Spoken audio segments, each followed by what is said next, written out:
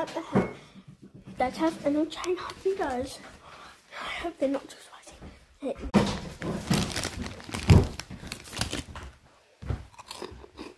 Not bad.